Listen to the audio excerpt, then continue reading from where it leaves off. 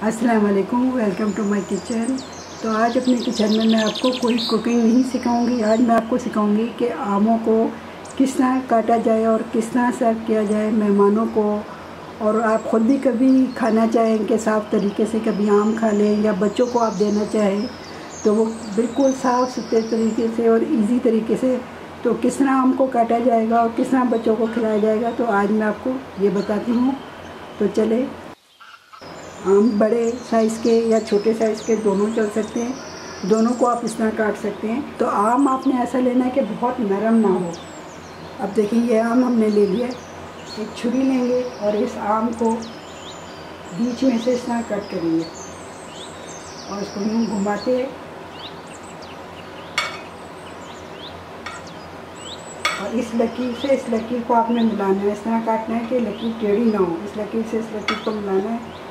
जहाँ से आपने कट का निशान शुरू किया था, वहीं पर जाके कट का निशान दोबारा ख़त्म हो, टेढ़ा मेढ़ा ना हो, बस इस चीज़ का आपको ख्याल रखना है। तो इस तरह से खूब अच्छा जो इसके अंदर गुटली है, उस गुटली तक छुरी जानी चाहिए, इस तरह। तो दो तीन दफ़ा से घुमा लें।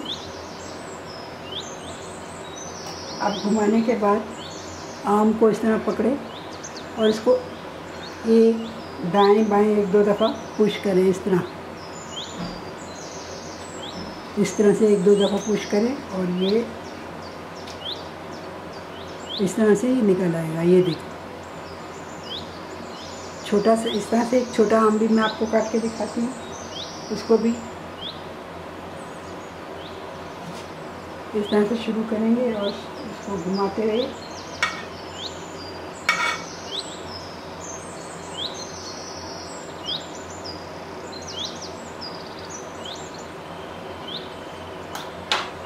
तो इसी तरह इसको भी एक दो दफ़ा आगे पीछे घुमाएँगे और यूँ करके निकाल लेंगे। बिल्कुल साफ़ तरीके से ये निकल आता है। अब इसको सर्व किस तरह करना है, खाना किस तरह है, ये मैं आपको बताती हूँ। इस तरह से काटने के बाद एक चमचा आपने इस तरह रख देना है। चमचे से इस तरह पकड़ के इसको और इस तरह खाते जाना है।